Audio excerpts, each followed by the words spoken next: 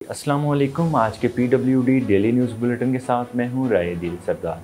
और आप देख रहे हैं हमारा यूट्यूब चैनल बहबूब टीवी आज की अहम खबर के मतलब आपको आगाह करते हैं कि डीसी ऑफ़िस में डिप्टी कमिश्नर खानेवाल की सरबराही में डिस्ट्रिक्ट कोऑर्डिनेशन कमेटी का इजलास मुनद किया गया।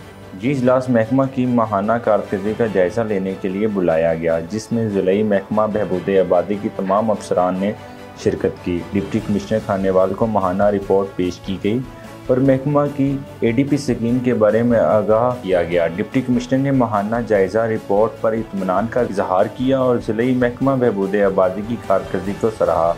इस मौके पर इनका कहना था कि वसाइल और आबादी में तोज़ुन वक्त की अहम ज़रूरत है और बहसीत कौम हम सबको मिलकर तेज़ी से बढ़ती हुई आबादी को रोकना होगा। अगर तेज़ी से बढ़ती हुई आबादी पर कंट्रोल ना पाया गया तो मुस्तबिल में हमारे मुल्क को कई वसाइल दरपेश होंगे। ज़िले महकमा बहबूद आबादी के अफसरान ने डिप्टी कमिश्नर को यकीन दिलाया कि वो अपने पूरे अज़म और हौसले के साथ आवाम तक आबादी और वसाइल में तोज़ुन कायम करने का शूर उजागर करने में अपना अहम करदार अदा कर रहे हैं। ये थी आज की अहम जिन खबर। महकमा बहबूद आबादी पंजाब की जानब से। दीगर खबरों को जानने के लिए देखते रहिए हमारा यूट्यूब चैनल बहबूब टीवी।